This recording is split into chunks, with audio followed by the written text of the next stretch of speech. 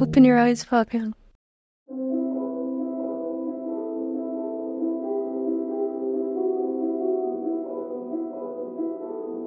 You feel so far, Mari. I'll blink and meet with you again. Life is precious. I can't sit beside you anymore, but I can in your memories. I'm the candle that keeps burning, the flowers that bloom, and that voice in your head telling you to choose life. Open your eyes, Fabian.